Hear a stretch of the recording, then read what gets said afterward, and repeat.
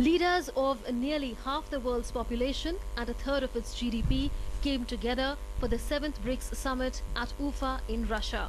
The day began with the opening ceremony, followed by a meeting between the five leaders of emerging economies and the BRICS Business Council. Addressing the Business Council, the PM underlined that the new development bank has become a reality and is headed by eminent banker KV Kamath. He said that he welcomes the setting up of a dedicated BRICS info sharing and exchanging platform and hopes for the conclusion of a pact on customs administration for trade facilitation. Speaking on the BRICS financing arrangements, the PM said he hopes that entrepreneurs will utilize them for export credit insurance and innovation.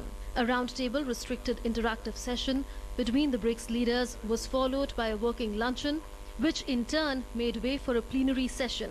At the round table, the Prime Minister said that UN reforms can lead to better and faster mitigation of any global challenge.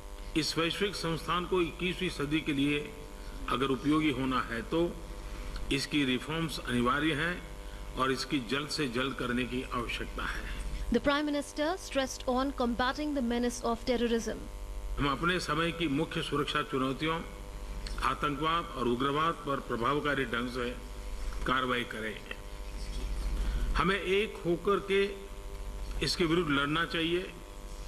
बिना समूहों और देशों, sponsors तथा targeted countries के बीच बिना विभिन्नता किए हुए यह हमें ब्रिक्स में यूनाइटेड नेशंस और उसके सिक्योरिटी काउंसिल तथा अन्य कमिटी में करना चाहिए।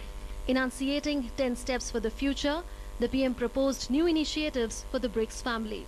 They included a BRICS trade fair, railway research center, cooperation among supreme audit institutions, digital initiative, agricultural research center, state or local governments forum, cooperation between cities in the field of urbanization, sports council and annual sports meeting, the first new development bank project in the field of clean energy and a film festival. There was consensus at the BRICS summit that all countries need to work together to prevent volatility in the global economy. global economy is fragile and that everyone needs to take action to ensure that the growth path is not in any way disturbed.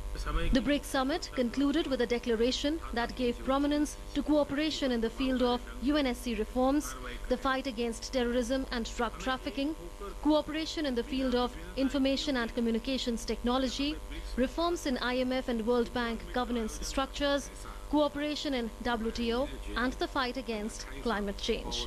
The UFA BRICS summit came to a successful conclusion. Prime Minister Narendra Modi proposed his Das Kadam Meanwhile, India got big achievement at the BRICS summit with UFA declaration calling for reforms in UNSC and reforms in Bretton Woods institutions like IMF and the World Bank. Next stop for the BRICS summit will be India. With camera person Puran Chand Joshi, Sidhant Sibal, DD News, UFA, Russia.